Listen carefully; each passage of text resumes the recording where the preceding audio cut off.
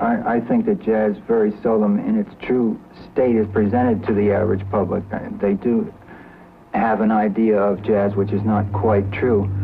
But the way I feel about it is that i- it is the only form of art that, in a way, America has uh, created and given to the world in this century or, or in the past few centuries, let's say.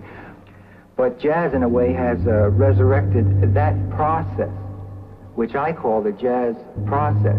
Now, jazz, as we, we tend to look at it, is a style.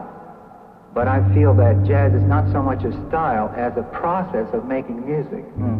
It's the process of making music, uh, making one minute's music in one minute's time.